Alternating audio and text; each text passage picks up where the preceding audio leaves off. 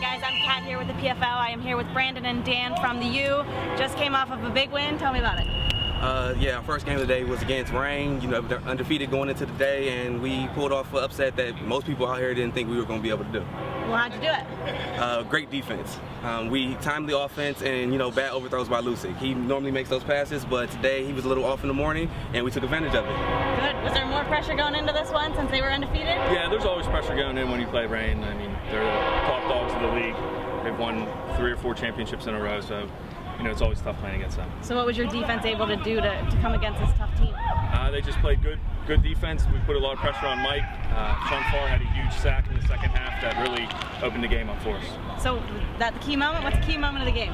Key moment of the game would be either Sean sack or uh, Scott Eccles knockdown at the end of the game to preserve the win for us. So coming off this win, we feeling good about the rest of the week? Yeah, we have another we have another tough opponent against uh, Vapor next weekend, so it'll be another tough game. So two weeks in a row. You gonna win that one? We're gonna do our best. I'm not gonna say we're gonna lose. Right. Yeah, we'll do our there best. you go. Good theory. All right, guys. Cat Hall with the PFFL.